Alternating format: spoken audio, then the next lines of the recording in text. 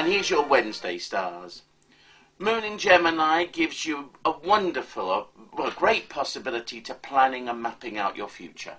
A very good day indeed with Moon to Saturn, Moon to Mars. What this means is getting getting your head around things, being responsible and realizing that your future is beckoning. And if you start to look into things and map things out, well, then you can be the architect of your own success.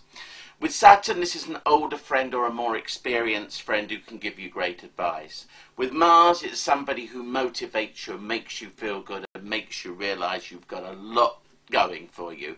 Put this together and it's a day for being with friends who can really bring out the best in you.